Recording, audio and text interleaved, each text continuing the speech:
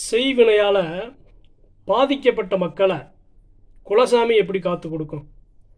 நம்ம குலதெய்வம் நமக்கு கற்றுக் கொடுத்த ஒரு சில சாங்கியங்கள் ஒரு சில வித்தைகள்.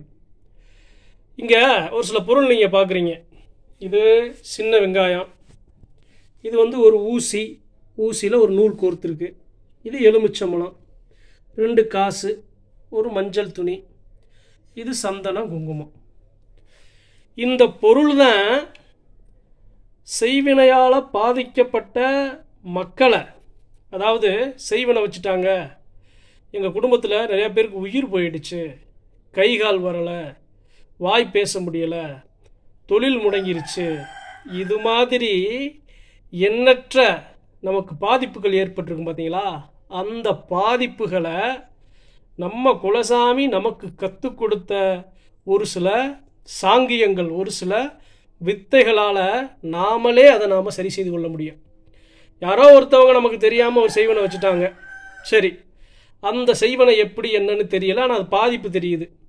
இது செய்வனை தான் அப்படிங்கிறத நாம் உறுதிப்படும் போது இல்லை இது செய்வனையே இல்லை வேறையாக இருந்தாலும் நமக்கு வீட்டில் இருக்கவங்க எல்லாத்துக்கும் உடம்பு பிரச்சனையாகுது தூக்க வரல மன உளைச்சல் ஆகுது இது மாதிரி எண்ணற்ற பிரச்சனைகள் எத்தனையோ பிரச்சனைகள் இருந்தாலும் நம்ம குலசாமி நமக்கு கற்றுக் கொடுத்த இந்த சாங்கியங்களை செய்தால் அதிலிருந்து நம்ம சாமி குலசாமியோட அருளால் நாம் நம்மளை மீட்டுக்க முடியும். அதுதான் இன்றைக்கி நாம் பார்க்க போகிறோம் சரிங்க.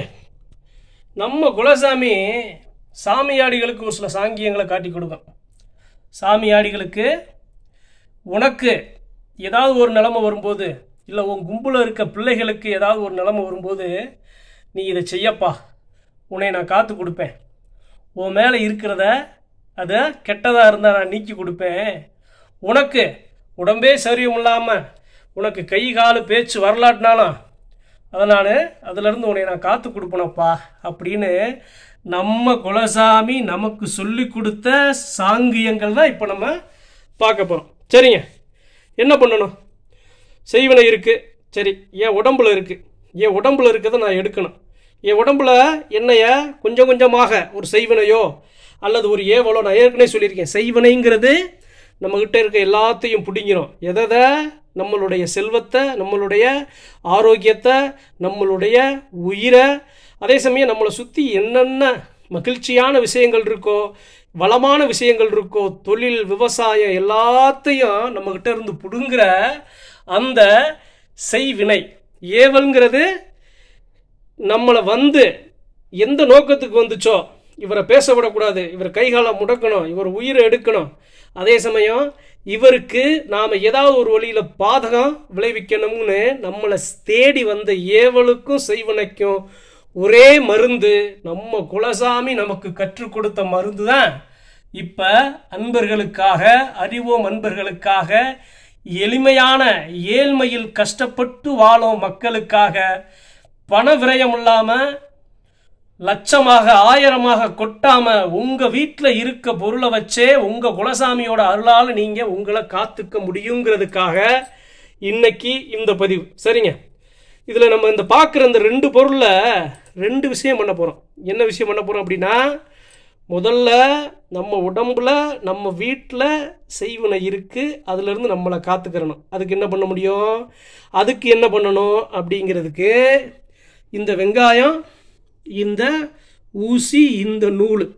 சரிங்களா? இதை சரி பண்ணிவிட்டு அடுத்து இனிமேல் வராமல் இருக்கிறதுக்கு வீட்டில் என் மேலே என் குடும்பத்து மேலே இனிமேல் வராமல் இருக்கிறதுக்கு நான் என்ன பண்ணணுங்கிறதுக்கு இந்த மஞ்சள் துணி இந்த காணிக்க காசு இந்த எலும்புச்சம்பளம். சரிங்க. இப்போ செய்முறைக்கு போவோம். இந்த மஞ்சள் குங்குமம் அதாவது இந்த சந்தன குங்குமம் எதுக்கு அப்படின்னா நாம் செய்கிற இந்த சாங்கிய பொருட்களில் நம்ம குலதெய்வம் பரிபூரணமாக நிற்கணும் அப்படிங்கிறதுக்காக இந்த சந்தன குங்குமத்தை நாம் வைக்க போகிறோம் சரி. இப்போ நாம் செய்முறைக்கு போவோம். இப்போ நம்ம என்ன பண்ணணும் முதல்ல உடம்புல இருக்கிறத வீட்டில் இருக்கிற அந்த செய்வினையாக இருந்தாலும் ஏவலாக இருந்தாலும் அதை அள்ளி வெளியே எறியணும் பிடுங்கி வெளியே எறியணும் அதுக்கு நம்ம வீட்டில் இருக்கிற சின்ன வெங்காயம் இந்த பொருளை எல்லாம் நீங்கள் எடுத்து வச்சுக்கோங்க. நல்லா பார்த்துக்குங்க இதை ஏன் நான் வந்து பதிவில் சொல்லாமல் செய்முறை விளக்கத்தோடு சொல்கிறேன் அப்படின்னா நூற்றுக்கு நூறு சதவீதம் உங்கள் குலசாமி இதில் உங்களை காத்து கொடுக்கும். இதில் இன்னொரு விஷயம் என்ன அப்படின்னா வெங்காயம்னு இந்த இடத்துல ஏன் வெங்காயத்துக்கு ஒரு சில சக்தி இருக்குது என்ன சக்தி இருக்குது தெரியுங்களா? அதாவது வெங்காயத்தை உரித்து வீட்டில் வைக்கக்கூடாதும்பாங்க. ஏன்? கிருமிகளை அனைத்து கிருமி நாசினிகளையும் அழிக்கும் அதே சமயம் கிருமிகளையும் இழுத்து வைக்கிற ஒரு சக்தியானது இந்த வெங்காயத்துக்கு இருக்கும். இந்த சின்ன வெங்காயம் இது எப்படி நம்ம உடம்புல இருந்து காத்து நிற்கும் அப்படின்னா குலதெய்வத்தோட அருளால இந்த வெங்காயத்தில் இருக்கிற அந்த சக்தியானது நம்மை நம்ம உடம்புல நம்ம தேகத்தில் நம்ம இருக்கிற எல்லையில் இருப்பிடத்தில் இருக்கிற அந்த தீவினைகள் எல்லாத்தையும் அதுக்குள்ளே இழுத்து வாங்கி வச்சுக்கிறோம். அப்போ நாம் அதுலேருந்து நாம் நம்மளுடைய உடல் நம்மளுடைய மனம் நம்மளுடைய இருப்பிடம் எல்லாமே வந்து சுத்தமாயிடும். நம்மளை சுத்தம் பண்ணிடும். அதனால தான் குலசாமி இதாண்டா உனக்கு சாங்கியம். நீ இதை செய்ய நீ ஏன் நாடு நாடா நீ ஏன் ஓடுற? இதான் நான் இருக்கேன் நீ ஏன் மழை போல நான் இருக்கும்போது நீ அப்பா கலங்குற? இந்த ஓ வீட்டில் இருக்க பொருளை வச்சு நான் இது பெரும் பிரச்சனையாக இருந்தாலும் நான் உனக்கு சரி பண்ணி கொடுக்குறேனப்பா அப்படின்னு நம்ம சாமி சொல்லி கொடுத்ததுங்க. எல்லாத்துக்கும் இதை ஏன் சொல்கிறேன் அப்படின்னா ஒரு சில அன்பர்களுக்கு ஒரு சிலதை தெரியப்படுத்தும் ஆனால் நம்ம புரிஞ்சுக்க மாட்டோம். ஆனால் ஒரு சில பேர் புரிஞ்சுக்குவாங்க. அவங்கள போல நானும் புரிஞ்சுக்கிட்டதுனால இந்த அன்பர்களுக்கு இந்த சாங்கியத்தை பகிர்ந்து கொள்ள ஆசைப்பட்றேன். சரிங்க? முதல்ல என்ன பண்ணணும் தெரியுங்களா? இந்த வெங்காயம் இருக்குல்ல இந்த வெங்காயத்தில் பதினோரு வெங்காயம் உரிச்சு வச்சுக்கிறணும். சரிங்களா? வெங்காயத்தை எடுத்து ஒன்றொன்னாவும் ஒன்றொன்னா உரிக்கணும். உரிச்சு வைக்கணும். அதாவது அந்த தோலோட அந்த வெங்காயத்தை வைக்கக்கூடாது. உரிச்சு பதினோரு வெங்காயத்தை கணக்காக பதினோரு வெங்காயம். ஒரு வெங்காயம் வந்து ஒரு வெங்காயமாக இருக்கணும். ஒரு சில வெங்காயங்களும் ரெட்டையாக இருக்கும் அதில் ஒன்றை மட்டும் எடுக்கணும். அப்போ இது மாதிரி பதினோரு வெங்காயத்தை நாம் உரித்து நாம் வச்சுக்கிறணும். இதே மாதிரி வெங்காயத்தை நாம் உரித்து வச்சுக்கிறணும். பதினோரு வெங்காயம். சரியாக நாம் பதினோரு வெங்காயத்தை நாம் இப்படி உரித்து வச்சுக்கிறணும். உரித்து வச்சதுக்கப்புறம் அந்த வெங்காயத்தை இந்த ஊசி இருக்குது பார்த்தீங்களா இந்த ஊசி நூல். இந்த ஊசி நூலில் நாம் அதை கோர்க்கணும். அது எப்படி என்ன ஏதுங்கிறத நான் விவரமாக சொல்கிறேன் இது வயசானவங்களுக்கும் சரி அதே சமயம் தெய்வத்தை புதுசாக சொ சுமக்கிற சாமியாடிகளுக்கும் சரி தெய்வம் நம்மக்கிட்ட இருக்குது ஆனால் நமக்கு ஒரு சில தொந்தரவுகள் வருது அப்படின்னு நினைக்கிற எல்லா அன்பர்களுக்கும் இது உபயோகமாக இருக்கும். நூற்றுக்கு நூறு சதவிகிதம். ஏன் குலசாமி? ஏன் குலசாமி?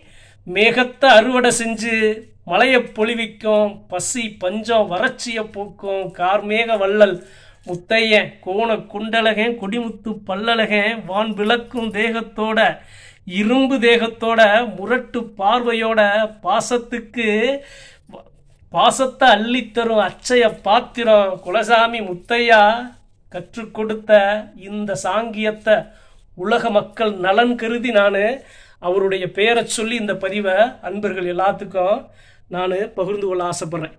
இப்போ பதினோரு வெங்காயம் இதே மாதிரி விட்டுட்டிங்களா? இப்போ என்ன பண்ணணும்? அந்த ஊசி எடுத்து அந்த ஊசியை எடுத்து அந்த பதினோரு வெங்காயத்தையும் அதுக்குள்ளே கோர்க்கணும்.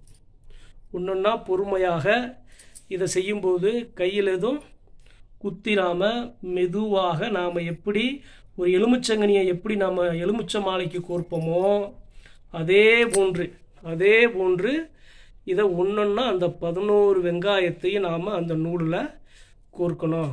நல்லா கவனமாக பார்த்துக்குங்க. அன்பர்கள் எல்லாத்துக்கும் இது என்னென்ன பொருள் தேவை? சின்ன வெங்காயம் ஒரு ஊசி ஒரு நூல் அதே சமயம் ஒரு மஞ்சள் துணி ஒரு எலுமிச்சங்க எலுமிச்சங்கனி ரெண்டு காணிக்க காசு ஒரு சந்தனம் ஒரு குங்குமம். இதே மாதிரி அந்த பதினோரு வெங்காயத்தையும் அந்த ஊசியில் நீங்கள் முதல்ல அதை கோர்த்து வச்சுக்கிறணும். இந்த பதினோரு வெங்காயத்தையும் இதே போன்று இதே போன்று இதில் கோர்த்து வச்சுக்கிறணும். பார்த்தீங்களா அந்த ஊசி இந்த ஊசியில் இந்த பதினோரு வெங்காயத்தையும் அழகாக அப்படி கோர்த்து இப்போ அந்த ஊசியிலேருந்து அந்த ஊசியை மட்டும் வெளியே பிச்சை எடுக்கணும். அந்த நூலை மட்டும் வச்சுட்டு அந்த ஊசியை அதிலிருந்து எடுக்கணும். அந்த நூல் அந்த நூலை மட்டும் வச்சுட்டு அந்த ஊசியை மட்டும் அதிலிருந்து நாம் பிச்சை எடுக்கணும்.